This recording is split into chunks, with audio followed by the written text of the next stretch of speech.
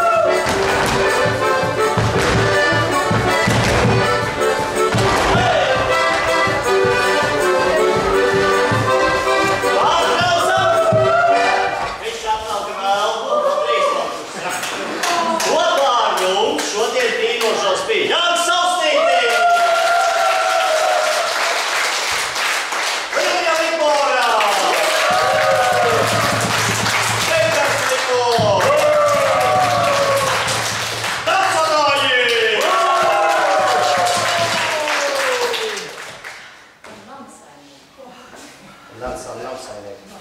Nāksiet arī nākamreiz. Jā! Jā! 20. 19. aprīlis. Aprīlis. Pēc stil! Nē!